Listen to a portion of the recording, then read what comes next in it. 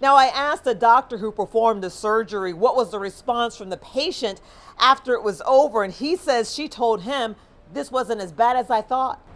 So we're just going to talk about the protocol itself. Yep.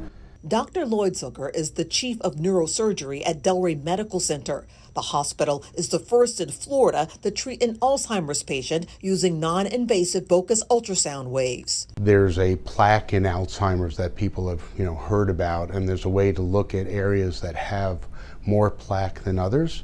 And we're using the ultrasound to open the blood brain barrier in those areas to hopefully reduce the amount of plaque that's there. The patient who enrolled in the clinical trial received the first of three treatments February 15th. In two weeks, she'll get her second treatment, and then two weeks, she'll get her third treatment. So we observe her and make sure between one and two and two and three that there have been no negative changes. The response from the patient after the first treatment? Basically looked at me and she said, this wasn't as bad as I thought it was going to be. And I'm like, well, I'm very glad to hear that.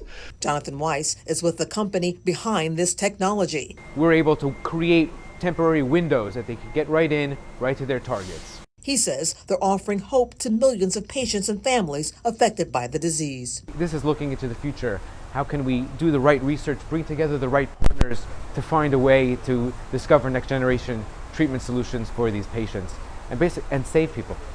Now, for more information about the clinical trial, you can just download our app and click on this story. Angela Rozier, WPBF 25 News.